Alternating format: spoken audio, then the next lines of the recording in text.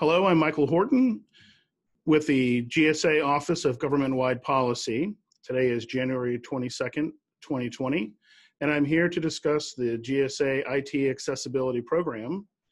And this presentation is on Section 508 Web Testing, Trusted Tester, and Automated Tools. For today's agenda, we'll talk a little bit about the GSA IT Accessibility Program, and focus on trusted tester and the ICT testing baseline.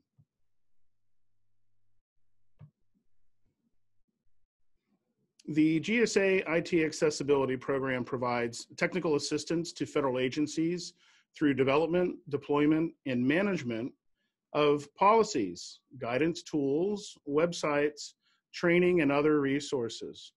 Our primary goal is to improve compliance and conformance with Section 508 of the Rehabilitation Act. Our goal is to raise awareness. We host section508.gov, the federal government's primary portal for IT accessibility. We offer resources such as the Technology Accessibility Playbook to help agencies implement Section 508. We lead and coordinate training and professional development, and we convene industry and government to collaborate network, and explore new accessible technologies and best practices, such as universal design.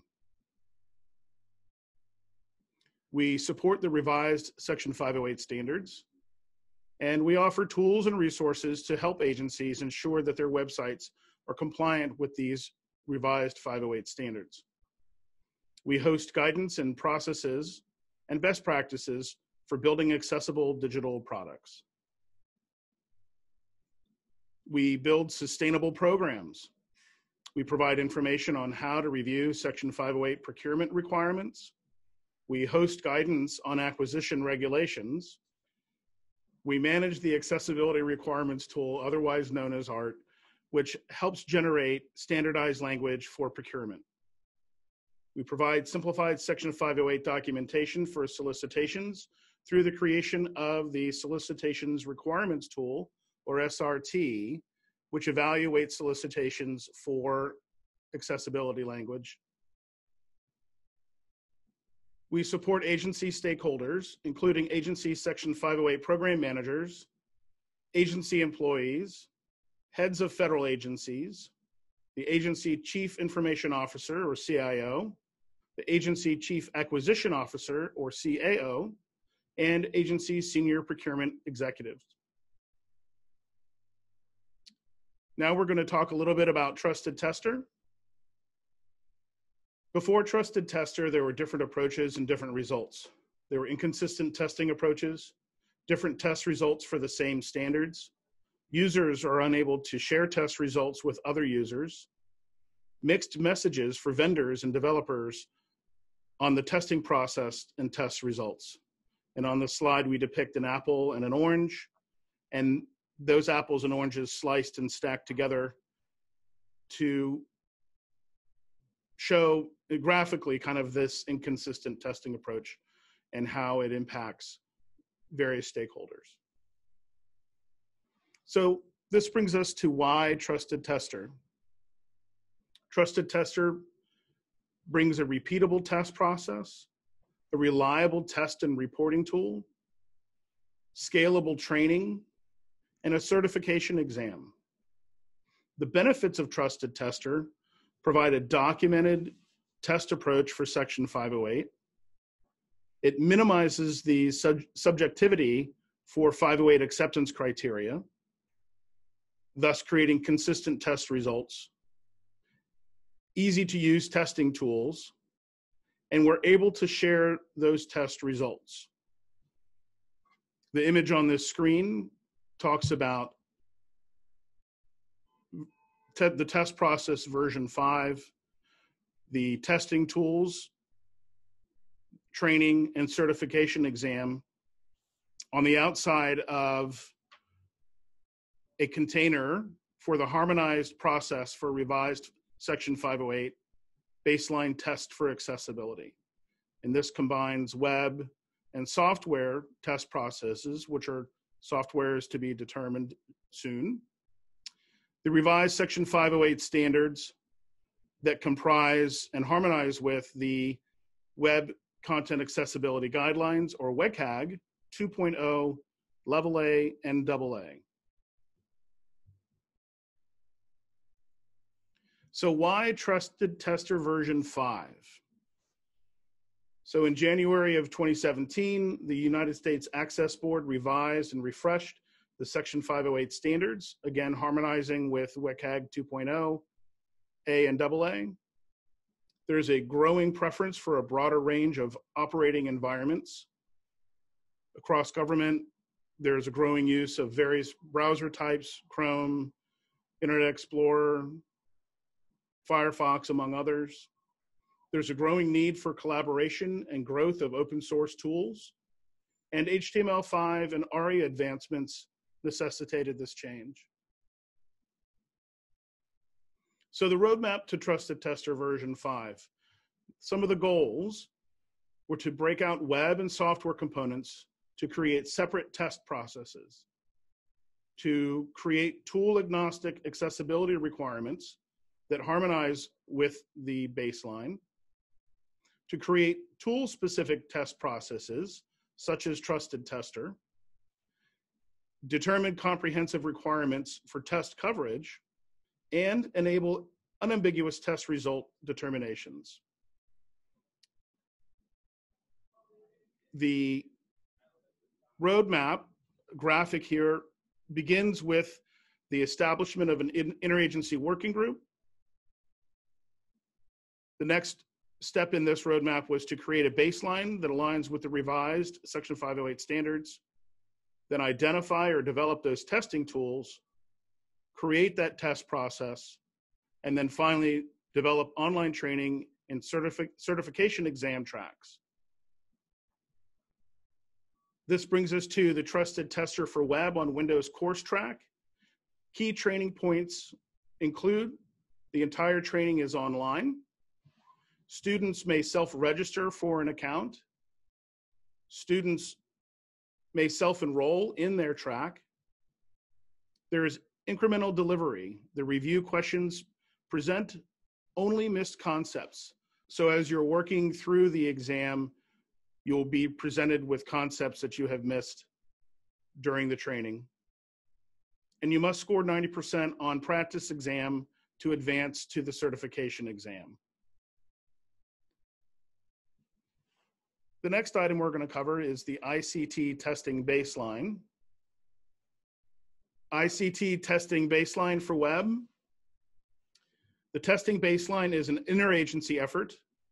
It is the documented understanding of revised Section 508 web requirements, determines what to test in multiple situations, including where evaluation guidance exists for test results, for development of test processes, or when no testing tools have yet been identified. The baseline draft status can be found at section 508 coordinators.github.io slash ICT testing baseline. So what is the testing baseline? The testing baseline comprises of the revised Section 508 standards, again, harmonizing with WCAG 2.0, plus what needs to be checked. And this equals the ICT testing baseline. And we'll talk about that a little bit more. The baseline tests are useful for developing a test process it groups requirements together, so element categories where possible. It identifies applicable requirements and what to check, otherwise known as sufficient techniques, for each applicable requirement. For example, the baseline test for forms includes eight WCAG success criterias, and they range across accessible name and description, visual label that is descriptive, error handling, identification and suggestions, and it minimize and prevents errors. And so the baseline attempts to group these together to help in the development of a test process. So the flow from the baseline to a test process is represented here. We have the baseline, what to test, plus how to test, plus the specific testing tools you'll use in how to test, and that equals our test process.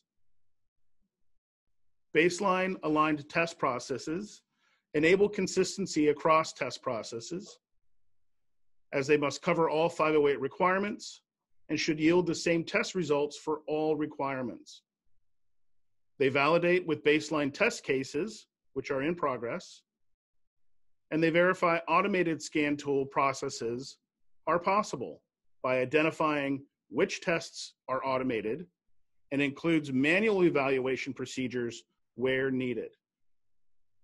This highlights the, the current state of automated tools where there is a limit of about 30% of the baseline tests can be performed automatically and the other 70% would need to be accounted for in a manual evaluation process. Using automated tools and a baseline aligned test process, we have a graphic on the screen with a person climbing a ladder, holding a little briefcase, and they're about 30% of the way up this ladder. This represents automated tools and the limits to which they can evaluate. Next to it is another ladder with this person climbing up there holding their briefcase. And above them is a trusted tester reaching down to help them complete that process. This is an example of combining both automated and manual inspection when evaluating against the baseline. Baseline aligned test process results. In this graphic, the ICT testing baseline is connected to trusted tester, scan tool A process, and scan tool B process. All three of those link to a consistent 508 test result. So again, you can use just a manual process, a scanning tool, or multiple scanning tools in combination to create consistent test results. Contacts and resources. The DHS online training site for self-enrollment and self-registration is at training.section508testing.net. To contact the Office of Accessible Systems and Technology, or OST, their email address is accessibility at hq.dhs.gov and can be found at dhs.gov slash accessibility. To contact the United States Access Board on Section 508 standards, their email address is 508 at access-board.gov or through their website at access-board.gov. And to contact the GSA government-wide IT accessibility program, we can be reached at section.508 at gsa.gov or through our website, section508.gov. Thank you very much and have a wonderful day.